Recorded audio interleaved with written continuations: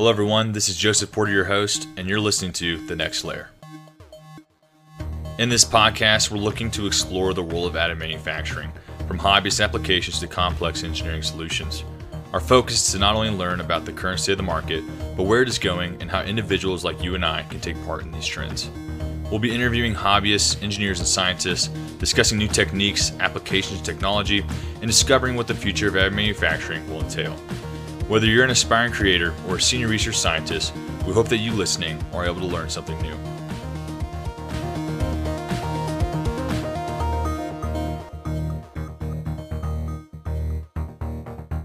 We'd like to thank our sponsor, MarketLyst.com, for making this episode possible.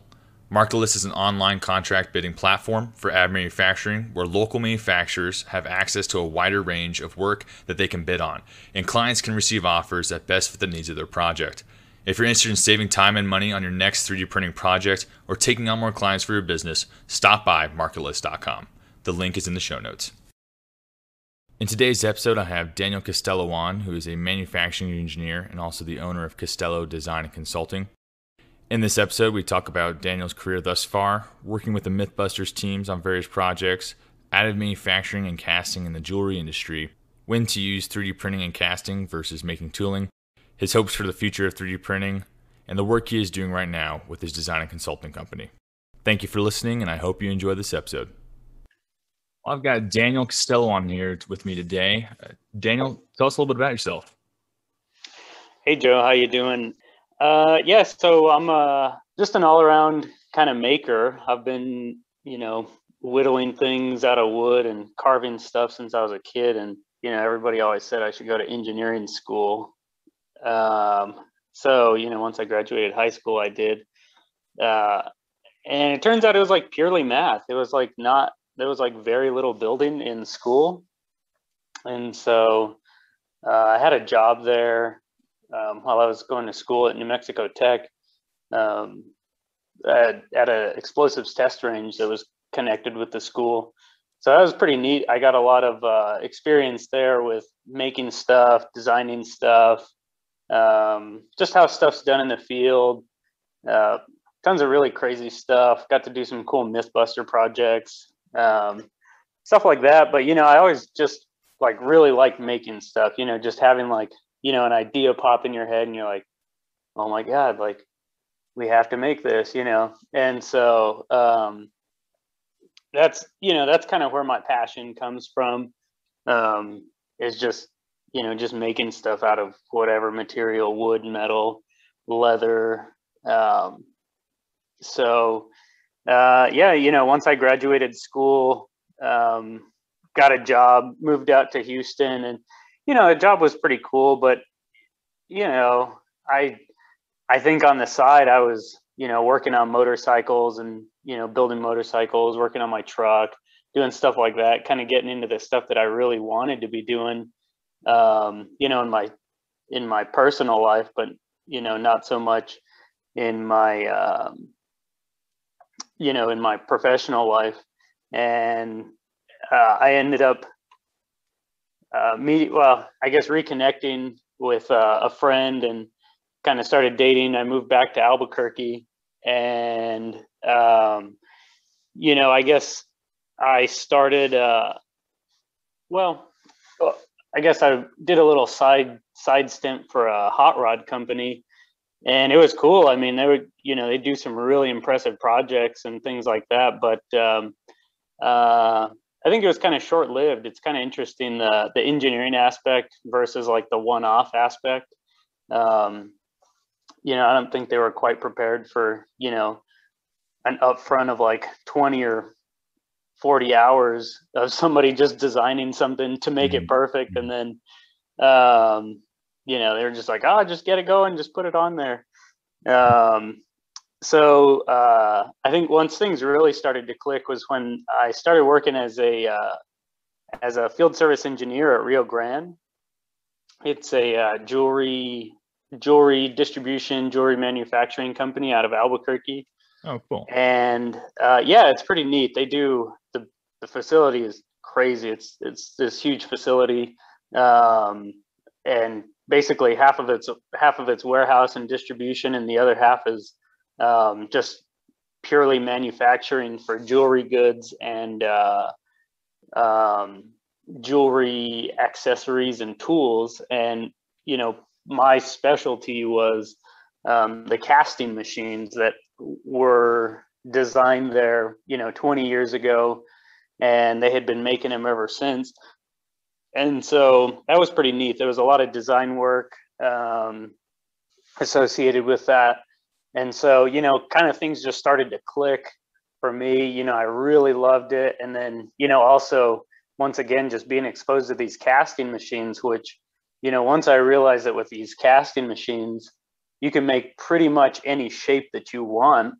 Um, you know, things just really started to click for me. And then, mm-hmm. you know, compare, um, you know, getting uh, couple that with uh, 3D printing, you know, these uh, castable resin uh, materials that they have. And, you know, you can pretty much print, you know, there's there's little there's small limitations on what you can do as far as printing and stuff like that so you know once you marry those two it was just like oh man this is so cool so you know i was really mm-hmm. getting into that um, but you know a lot of their their equipment there i can't really you know use for a whole lot of the stuff that i wanted to do all the you know like i said earlier all those ideas that just pop in your head and you're like oh my mm-hmm. goodness you mm-hmm.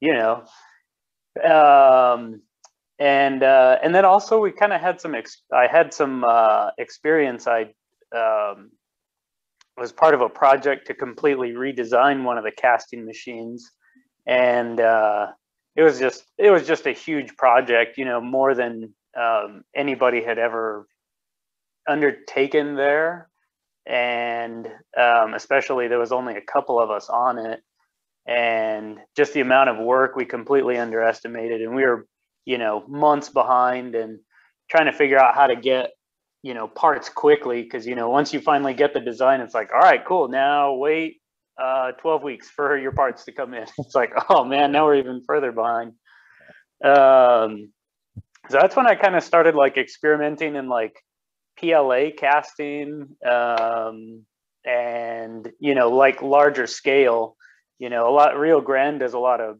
uh casting for off of SLA prints, which are smaller. Really? That's cool. Uh, yeah, yeah, yeah. So that's kind of what you know. That's kind of what I was used to is smaller stuff for jewelry. But you know, I'm a mechanical engineer, so I like designing you know brackets and this and levers and you know whatever it is.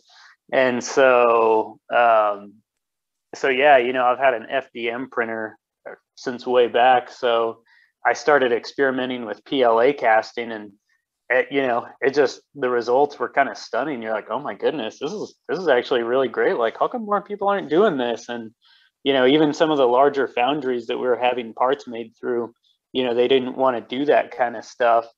Um, and so, you know, I just kind of, I just kind of kept going with that and just, um, you know, taking stuff uh, you know, I'd have people come to me and just like, well, I have this weird part that needs an adapter for this to this, and it, and it's like, oh, cool, yeah, we'll just design it, 3D print it, print it, and cast it now. So, wow, okay, um, yeah, it's kind of it's kind of really cool. I I love, uh, you know, just getting those, you know, super quick results, just because you know, designing stuff takes such little time printing it it's pretty much hands off you know you just got to set it up and then you know casting almost the same thing so mm-hmm. um so you know that's that's kind of uh that's kind of that's kind of where i'm at right now is uh just trying to um, enable other people with their ideas and you know something they have kind of an idea but they don't quite know how it's going to work or how to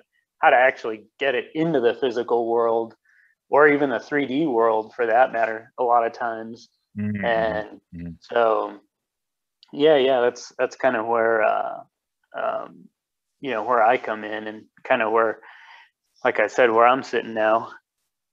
That's awesome. So yeah, I kind of want to pack some of the stuff that you dove into right there. So did you say you previously worked on MythBusters projects? Yeah, yeah. Um, what does what does that mean? Because you, you also you work for a like a explosives range, or yeah, I know. It was just kind of so we kind of glossed over that. Like, just whoa, whoa, whoa, whoa, yeah, whoa, whoa, you're yeah. gonna have to back up on that one. Yeah. Yeah, no, yeah, it was a um, it was a explosives test range. I think it was like, mm, I want to say it was like 42 square miles or something. There's if if you ever drive through Socorro, New Mexico, um, uh, don't stop, uh, but uh, just just keep going. But yeah, no, I'm just kidding. It's a nice town. With you know, you get close to the college. There's some you know really great places over there. But if you look, there's a mountain that has an M on it, and that whole mountain is surrounded by an explosives test range. Um, and so that's kind of what I was going to school for too. Was uh, was I have I have enough credits to have a minor, and I was going to go for a master's in explosives.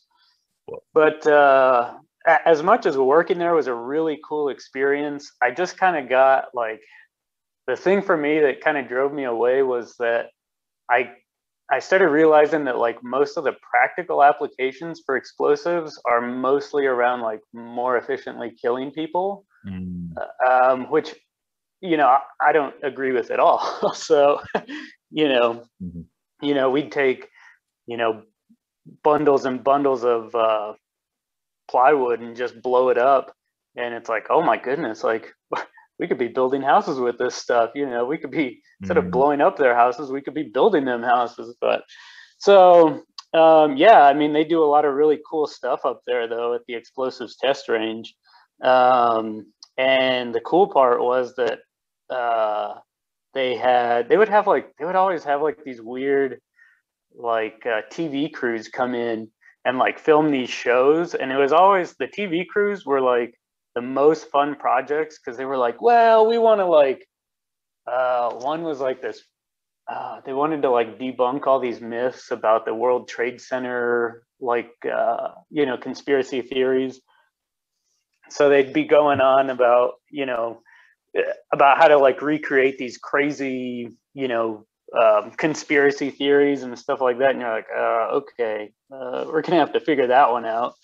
But uh, but yeah, the MythBusters came on, and we did. Uh, if you look up the rocket sleds, there's a few like MythBusters rocket sleds where we did like uh, cars, like we put cars on rocket sleds and uh, a whole bunch of stuff like that, and just send them like, you know, 300 miles an hour down a track into something else. Um, whoa. Yeah. yeah, yeah, it was pretty cool. So those those were like by far my favorite ones. Um, yeah. So but yeah, yeah, there was- the team. Yeah, yeah, yeah. We got to meet. Uh, I think um, Adam and Jamie came out one time, and then the other times it was just uh, Grant, uh, Tory, and uh, oh boy, this, I'm losing points right now. Um, I'm having a hard time too. It's been a while since I've watched MythBusters, honestly. yeah, yeah, yeah. I grew up Yeah, but yeah. yeah, yeah. Yeah, they're all really years, cool. so Yeah, they're Yeah. all really cool people. So it was super fun to work with them. that's so Um, cool. Yeah, yeah, yeah. So give those give those a good watch. Those will yeah, those are uh, really awesome uh, footage of just and those rocket sled tests are my favorites too because you know an explosion will last a split second, but those rocket sled tests at least last like a second. So Yeah. Yeah. a little bit longer. yeah, a little more to savor. That's so cool. Okay. Yeah, that's awesome. It- it's- we're be able to work with the MythBusters team and get to meet meet their crew. I feel like so many people, and especially in the maker world, you know, you grow up watching MythBusters and their cool shop that they just got to build whatever the heck they wanted. You know. Uh, Oh, I Rest know. in peace to Grant. Uh, what a great guy. Yeah, I know. It was so crazy. I yeah, that was that was really terrible. I I saw Mhm. like something uh, like I don't know, like when I first saw it I was like I don't know. It's just kind of like one of those disbelief kind of right? things that you're Yeah, like, wait a second, wait. This like the like Grant, like am I this isn't the right guy. Like this is a different guy. And I'm like, Yeah. wait, no, this is the yeah, that was yeah, pretty pretty upsetting. Mhm, Yeah, super brilliant guy. mhm. But yeah, if you ever watch those uh, MythBusters where they're like in the bunkers, like the reaction shots and stuff like that, where it Mhm. shows like whatever blowing up, and yeah, I'm like on the back side of the camera. Oh no way! That's so Yeah. cool. Wow. Okay. yeah, was uh, Jamie and Adam and the crew were they just like they were in the show, or is there anything different, you know, between the show and uh, and just yeah, they were all complete a holes, total divas. No, I'm just kidding. no, they were they were super nice, super cool. Always just joking around and super loose, and you know, yeah, it was fun. That's so cool. What a, what a fun job. That's I, I would have loved the job at the MythBusters, man. That been, that been oh, I know. Yes, that would be yeah, like you were saying in their shop of just like, well, we have to make like our, the one that always comes to mind for like the crazy. Oh, well, and I don't even think it's that crazy. It's just really neat. Was the one with where they were like trying to make the bridge rock back and forth with the, and they got like, he had like I don't even know how many pneumatic actuators to like go to one side and then the other with like boots on. It's just like, oh man, that's such a cool like yeah. Oh, oh, where do you yes, come up with that? Yeah, yeah, to make uh, like I like the bridge was like swaying because of like mm-hmm. the harmonic uh, um, mm-hmm. frequencies and whatnot. Yeah, yeah. Wonderful so. stuff. Yeah, great memories of watching all those growing up. Um, so then with jewelry making, um, so working with Rio Grande and uh, being their field engineer, but also working in their casting industry. And you said that they used uh, 3D printing quite a bit early on. Uh, were they kind of like early adopters of because what additive manufacturing has been around for a while, obviously, you know, since the 80s and whatnot. Uh, but for commercial or more uh, consumer use, it hasn't been around that long. So do they have like uh, just kind of your your casuals FDM printers, or did they have like their own industrial style ones, or um, I guess what what would they use there?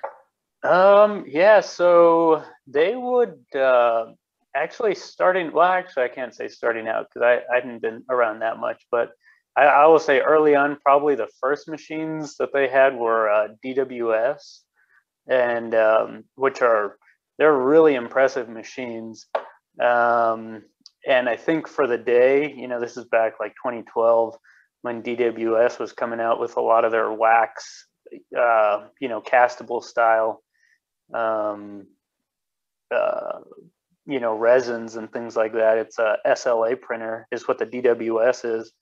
Um, they have crazy good um, surface finish. You know, super super low um, layer thicknesses, so you can get just like an incredible print just right out the gate mm. with almost no finishing. Um, so that's kind of what they've kind of started out in was those. Um, and I think the problem kind of with those, what they ran into, um, I, you know, it was just, I think, like I said, at first they were kind of top of their market, and then all these like B9 started coming out with like a really super high, um, uh, super high resolution printers. But then on top of that, you know, instead of uh, you know 65,000 for the mid-sized printer, you know, B9 is probably like 10,000 or something like that. And their, you know, their resins aren't as expensive and their um, trays last longer. And, you know, the, you don't, you know, you don't need a computer, a standalone computer just to run the 3D printer. And so there's a lot of aspects that, you know, I think early on DWS kind of got their foot in the door, but then, you know, the little guys that you know that their their their print quality and their resolution wasn't quite as much, you know, but it was 90% there. And then, you know, their price tag was 10% of what they were. I think that's kind of what started happening with uh, DWS in the jewelry printing world. You know, DWS is still big in the manufacturing world, but I think, um, uh, uh you know, they've kind of kind of shrunk in the jewelry arena. Um, just to some of these other places like B9 and Formlabs are kind of the bigger ones. Mm. Um, and, and, actually, they had a really cool one there for a minute. Uh, was the Autodesk Ember. Um, uh, Rio Grande was selling the Autodesk Ember for a while until they just like abruptly stopped selling them. Um, but those ones were really neat, and uh, I actually have one of those, and it's a pretty good little printer if you have uh, really small parts. It's it's a really great, super fast printer. Mm. Um, so so yeah, but they just they use a lot of uh, castable resins. Um, and you know, honestly, they did a lot more um, reselling of of these machines more so than they would do um, actual, you know, casted materials. And they used to do them like once in a while here and there, um, but uh, for demos and things like that. But uh, it was kind of surprising that you know they didn't do more of it. And um, uh, you know, when I was leaving, I've you know I just recently left there a couple months ago.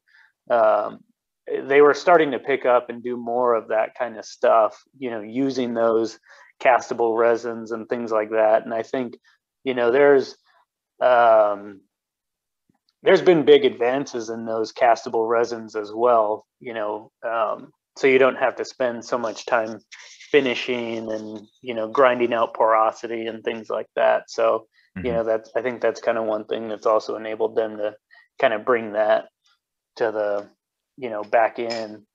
Um, but yeah, no, actually they um, no FDM. I I would use my FDM printer uh, for things that were like too big for any of the printers that we had over there.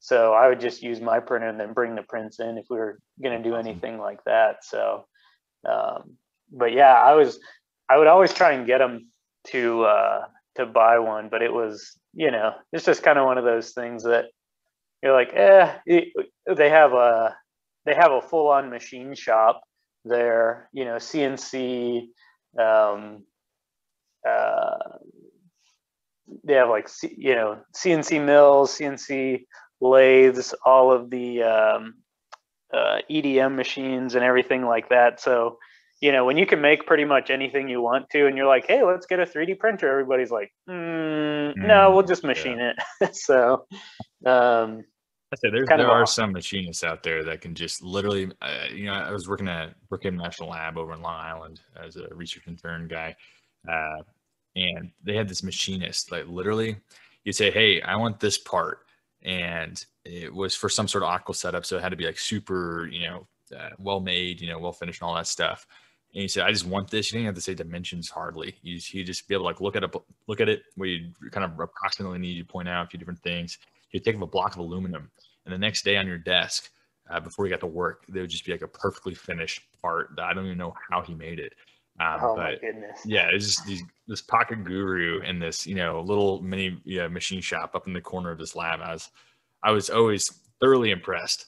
Uh, yeah. By sometimes what people can do in that. So hey, yeah. Those are yeah. Those are always the best. Like as a person, as a person who makes stuff, mm-hmm. and like I can tell like every detail of how something's made the stuff that you like have no idea how it's made it's just like like yeah I'll, I, I probably spent uh probably a good 15 or 20 minutes looking at this wrench for the tub strainer that I got from Lowe's that I was just like how the heck did they make this? yeah. so yeah just those i know exactly what you mean those parts that are just like whoa what happened yeah, here like, like that's impressive yeah.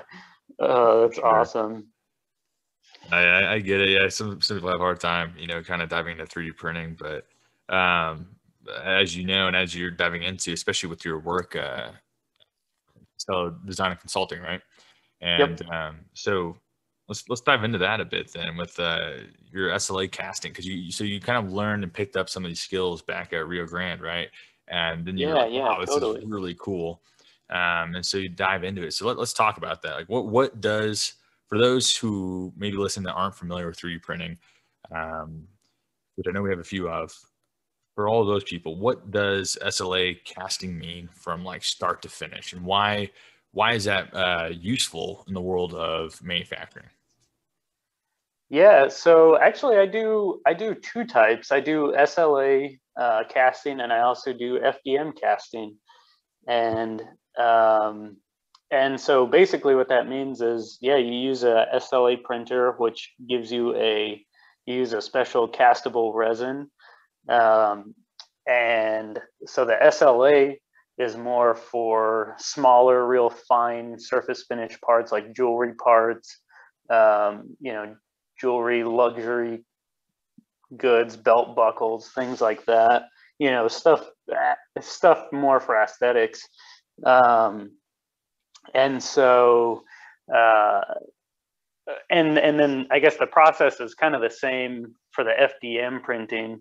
Um, pr- people are probably a little bit more familiar with FDM printing, where they just you know heat up a piece of plastic and squirt it out a nozzle, um, layer by layer. So um, yeah, it's kind of the same thing. Uh, I use that for a lot more of the low resolution kind of industrial stuff that really doesn't make a difference.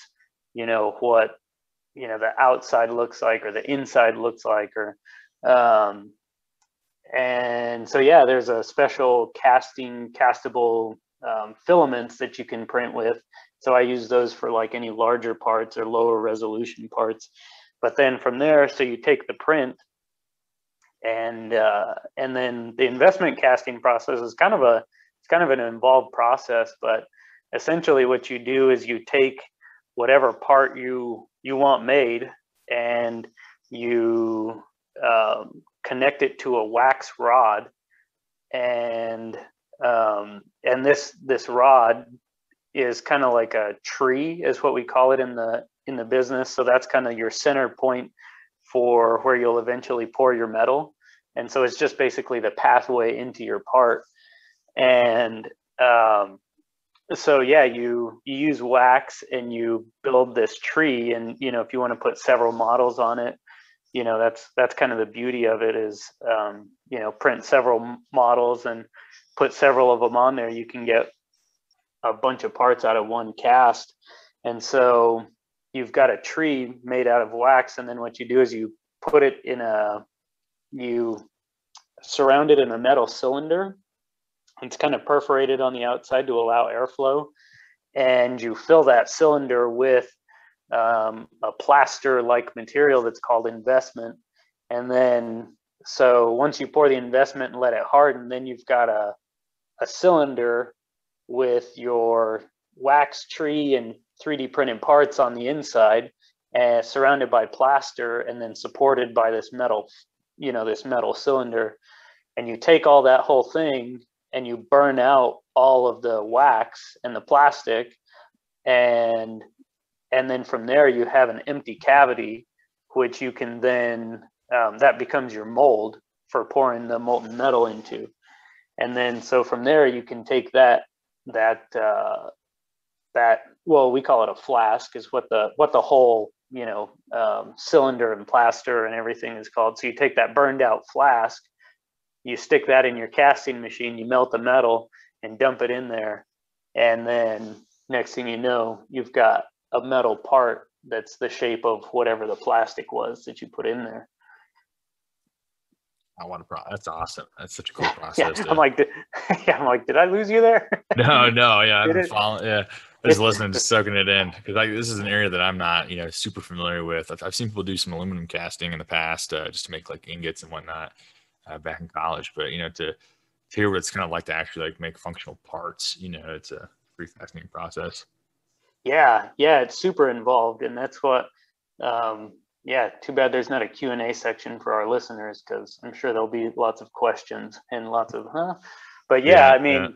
There's uh yeah, it's it's a it's you know there's uh you know there's tons of equipment involved and there's you know multi steps and it's it's pretty involved but it's kind of neat because it can happen all in a really short amount of time. And that's kind of where um, you know where i really like to leverage things is like you know people will come to me wanting you know a certain part you know a blower for their uh, forge or something like that one of my buddies does a lot of blacksmithing and then it's like oh cool yeah well you know take take a couple hours to design it print it cast it you know, all within the span of a week, you know, in the spare time. So, um, you know, it's a pretty involved process, but it actually goes pretty fast, especially when you do 3D printing.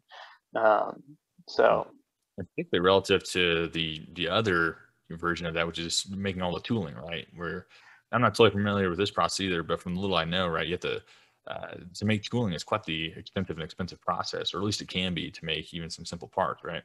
Oh, completely. Yeah, it's crazy. And that's kind of where, you know, I, I touched on earlier that I was, uh, you know, doing this project where we were just like, you know, super far behind and you know that was part mm-hmm. of the mm. problem was you know not only do you so part of the part of the issue with tooling too is that okay so you've built this like really cool cad model and it's like all right great. Well in order to be able to like sand cast that you have to have you know clear parting lines and stuff like that. So if it's you know if you've got like straight cylinders or something that you want to cast you know you've got to go in there and actually add you know one or two degree draft on all of your cad you know all of your surfaces anything like that or actually a square would be a better you know a better example if you had a square that you wanted to cast you know you'd have to go in there and edit you know four sides of that square to have a draft on it to be able to um, actually pull it out of the you know the pattern. And then so that's part of the pattern making process is just getting that. And then um, and then building the hmm. pattern.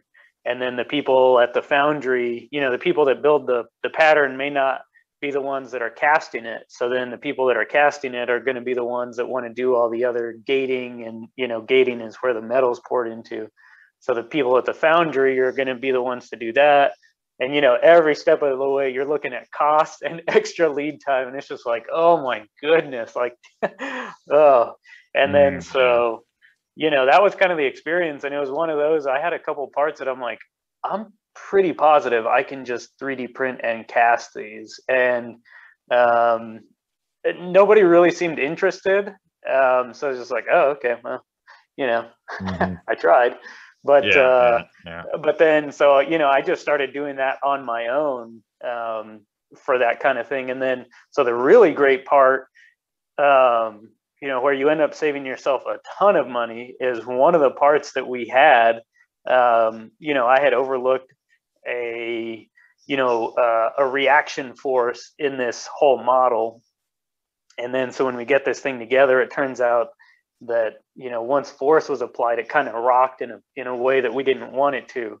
It's like oh well now all of your tooling's been made to make these parts right? So now you have to like redesign the part send it back to the pattern maker and then the pattern maker has to like remake those patterns you know salvage what they can of the of the existing pattern and then mm-hmm. send it back to the foundry, regate the regate the pattern, and have them re-pour it and everything. And it's process. It's such a crazy process that really, I mean, that's you know that's the beauty of doing it um, investment casting is you can you know you can get a run of five parts really inexpensively and then if you want to make 10,000 of them then yeah you should absolutely make the tooling for it but you know you don't want to spend 80 grand up front on tooling when you haven't even proven out that your product's going to work.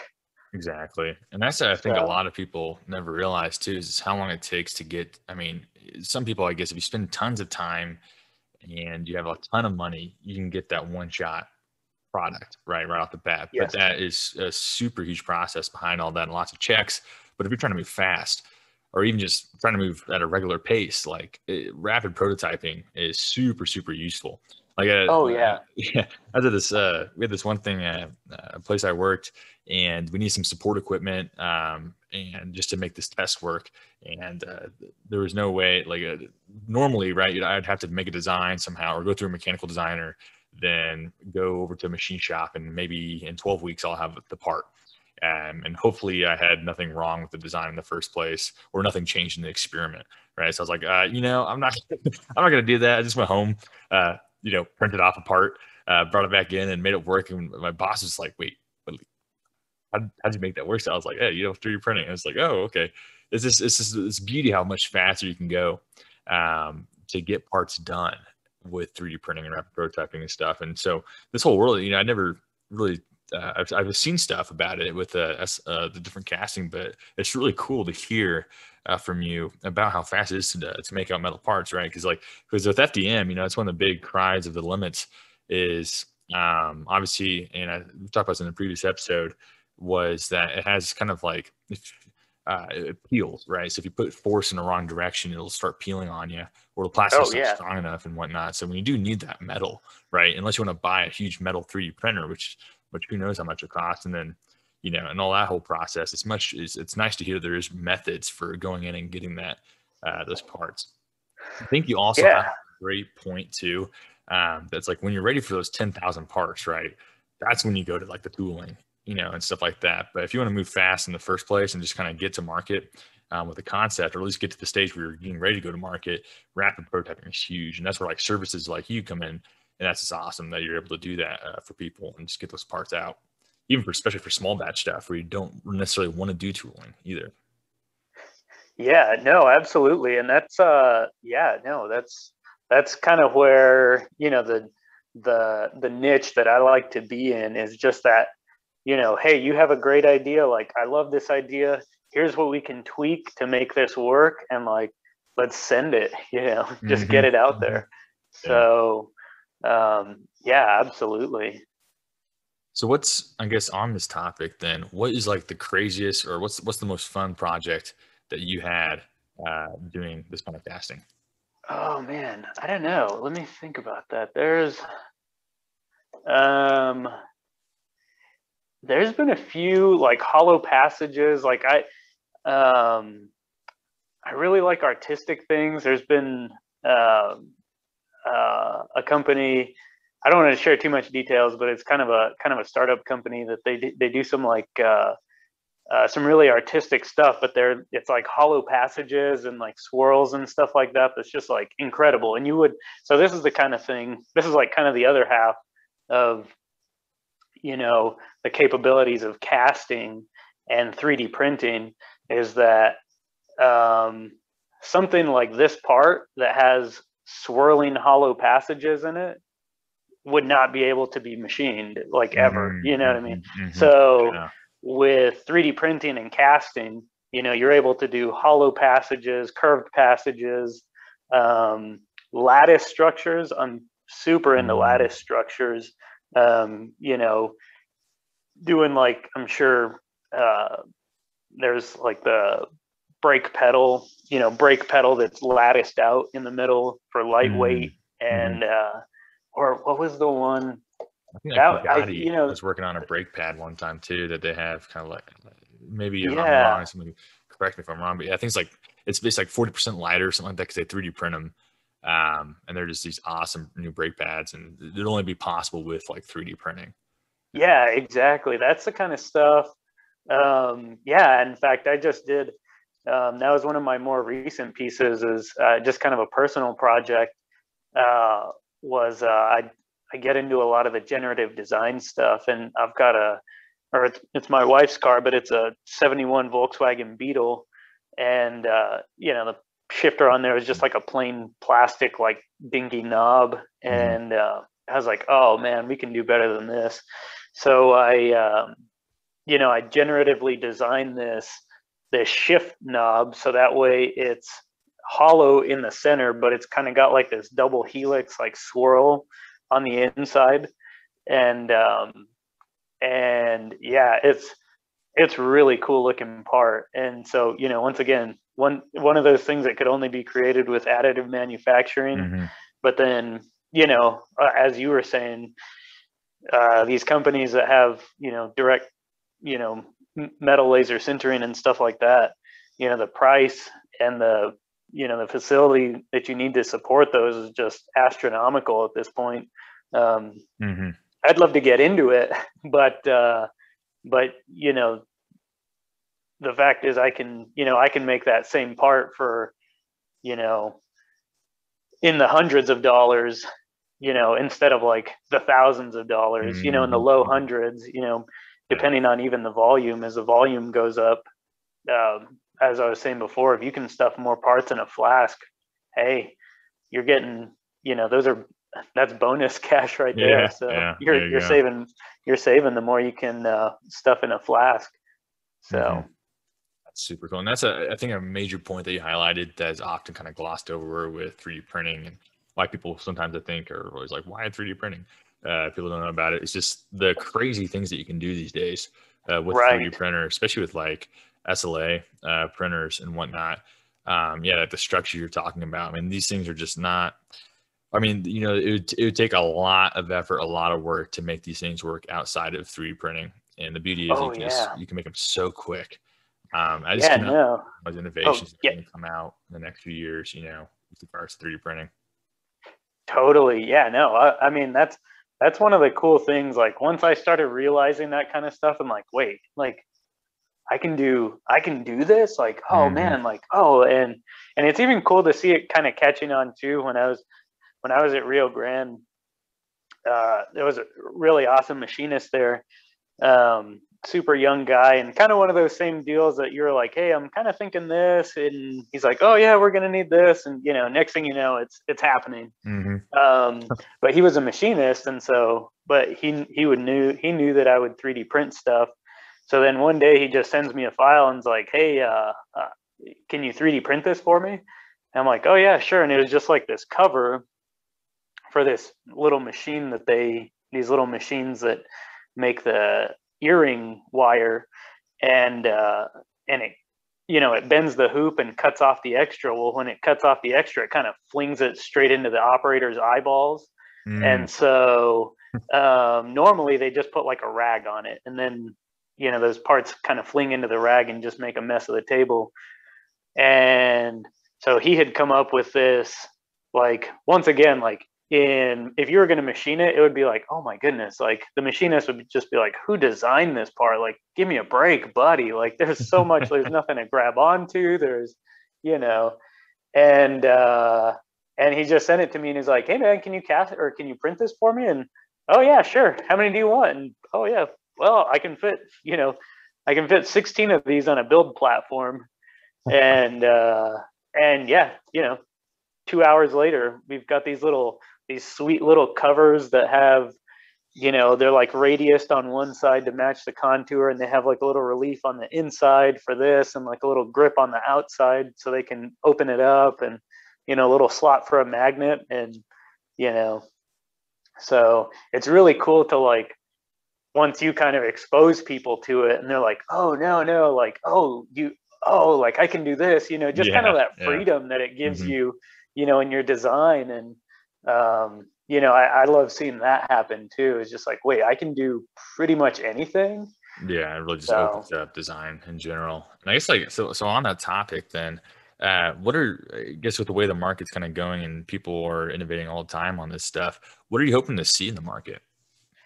Oh man, I'm hoping to see supportless. I'm I'm hoping to see an end to supports. God dang, if we can get rid of supports, Yeah. I I'm probably the first person to ever think of this, but we have to get rid of support. Like you mentioned it, it's just one of those things, right? It's like when people get exposed to it, like, wait, I can do this. Like thinking about uh sup- like a, a world without supports. Oh my goodness, I can't. That would Yes. be uh, wow. I can do literally anything then. If yes. yeah, no supports. totally i mean yeah even that even that shift handle that was like you know and I'll, I'll be honest i go i i hate i hate doing supports and i try and go as chintzy on supports as i can. And most of the time it works out. About 10% of the time i got to go back and reprint it with more supports but um, even then oh man it's just such a pain. And then the surface finish doesn't come out quite right. And so yeah support free that's that's my vote on what needs to happen in the uh, in the 3d printing world. Um, as far as uh, i guess it's kind of interesting because i'm in as, as far as what the market's doing you know i'm kind of in two different realms you know i kind of dabble a little bit in the jewelry industry um, just because you know the type of equipment that i i work with is um, really conducive to that. Um, so as far as the jewelry industry is concerned, um, personalization, that's kind of like the big thing there is just like, hey, you want to, uh, you want to market list, uh, you know, team rings for, uh, for you and, you know, the guys on your team. Oh, okay, cool. Well, you know, we'll do five of these special run rings, but, um, you know, it's not going to be, um, you know, it's not going to be a big, to do to make these custom rings, you know, because we just print them. It's not like we have to sit there and carve five of them out of wax like we used to.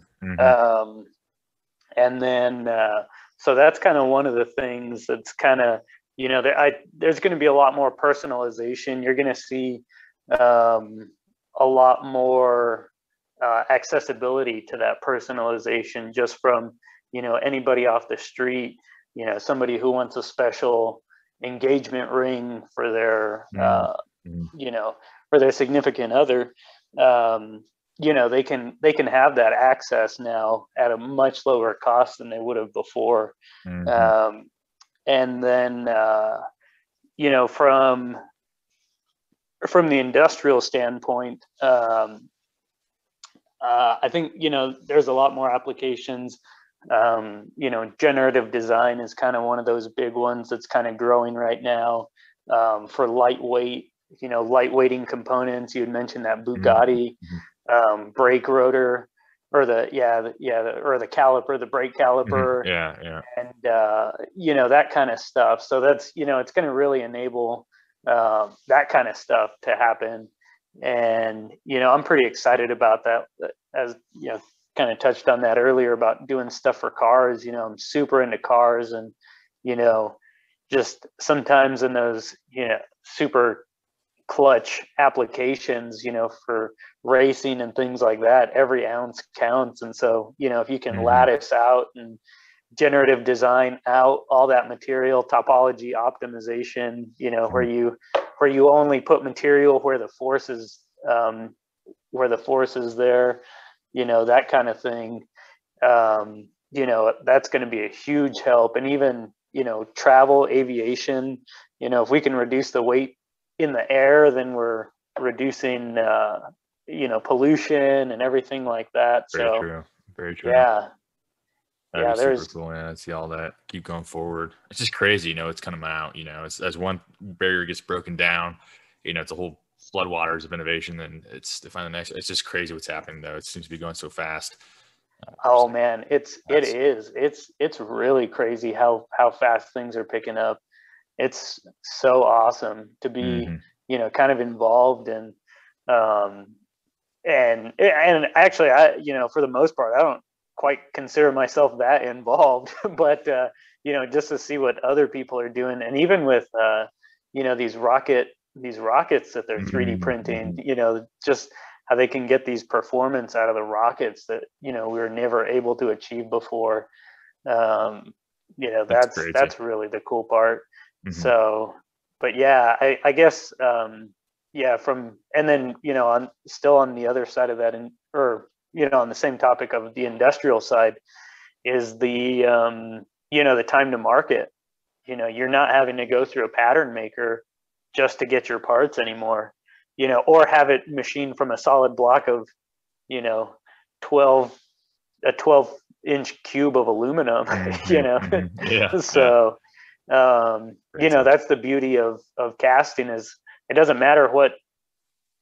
shape you're starting at you know it doesn't matter what shape your stock material is you know you don't have to wait mm-hmm, mm-hmm. to get your stock material from McMaster-Carr you you know all i have is a a tub full of grain that i just dump into the casting machine comes out whatever shape i need it to yeah we should, get stickers saying like death of lead time yep manufacturing yeah, that's that's so great. Um, so I guess overall, then, with your experience in 3D printing, you know, you obviously get a lot of experience uh, with 3D printing and with casting and whatnot. Do you have any tips or tricks that you're willing to share with the with the listeners? Uh, no, I try and keep them all locked up. no, I'm just kidding. Um, I'm, I'm actually kind of an open book, but uh, I I need to get better at sharing. But um, yeah, I would say um, just let your creativity flow. I mean, like we were talking about, once you kind of get exposed to this and you're like, oh, you can do that, and just kind of just let it snowball. That those are the best conversations I love having is just with other creative people talking about making stuff and it's just, you know, just no boundaries conversation where you're just, oh, we can go this and oh, then we can toss this in here and oh, we can toss this and then but, you know, um you know just have those conversations find those find those really collaborative people and just you know latch onto them and just bounce ideas off them constantly i love doing that mm-hmm. um, And uh, as far as just running machines, um, don't be afraid to mess up your machine. I um, I think I flooded my Formlabs like the third print I did with it just because I was trying to like print a really big part with little supports and mm. um, yeah, it just got stuck to the build tray and flung resin all over the inside of the machine. So, um, you know, I, I, you know, I try and be daring with my prints. I, um, I, you know, I try and try and orient things as best as possible, and you know, for minimal supports, and then even then, I try and still dial down the supports from there. Um, um, yeah, that's no, that's, uh, that's that's some great points that you made there. Because like that's one of the things I think with 3D printing is really breaking loose here.